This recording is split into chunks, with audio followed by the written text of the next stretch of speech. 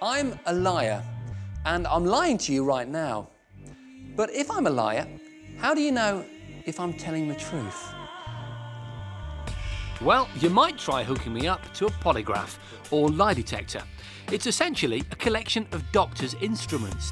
When you lie, the pulse quickens, you breathe faster, and you start to perspire. The ultra sensitive polygraph maps those changes. Any significant peaks spell out stress and a possible porky pie. In this country, there are only five regular polygraph operators. In fact, worldwide, there are only four companies that make them. They're incredibly expensive and sophisticated gadgets. Just the kind of challenge I like. So, here's the Gadget Show's polygraph for a pound. Lying causes stress. Stress causes sweat, and that's where my design for a lie detector comes in.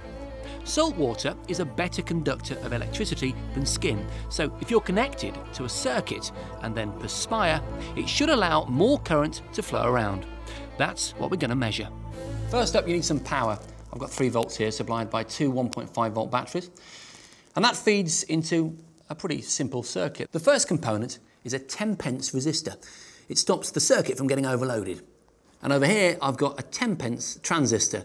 Its job is to amplify the delicate signals I'm getting from the skin. Now we come to a 5 pence LED or light emitting diode.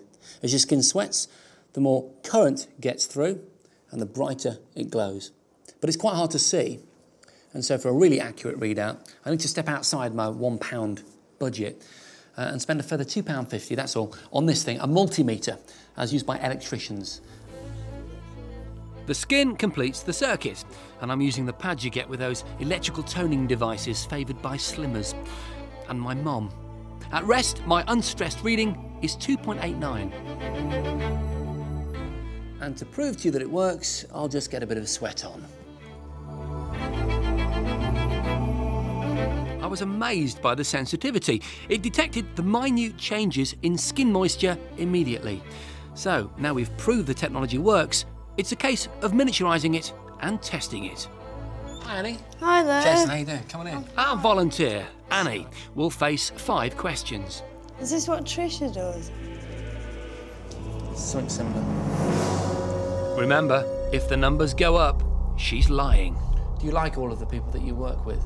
Yes. Are they rude ever? No. Do you think you could do their job better than they could? Some of them. No.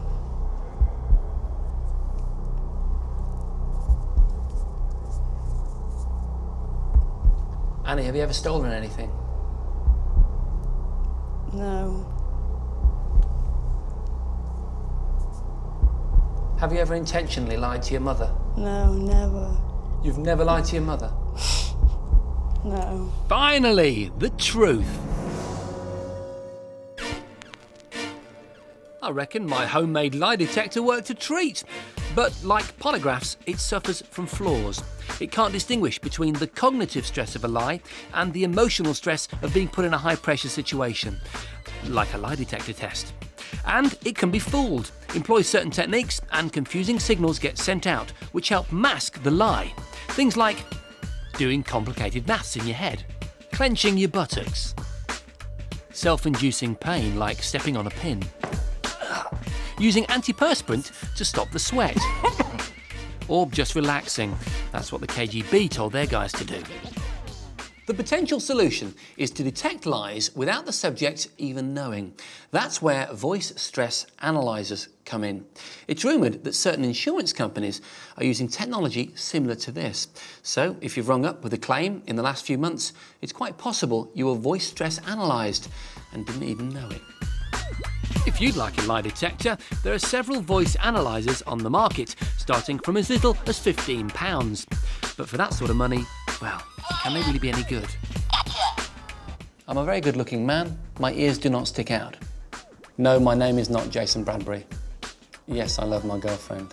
No, the number I wrote down is not number two. Two. Frankly, our tests showed them up to be pretty hopeless, and that's the truth. They claimed I was lying when I said nothing, said I was fibbing when I wasn't, and didn't even seem that sure about this guy. I did not have sexual relations with that woman, Miss Lewinsky. However, we hear that incredibly sophisticated thermal imaging devices are being developed for use in airports, amongst other places.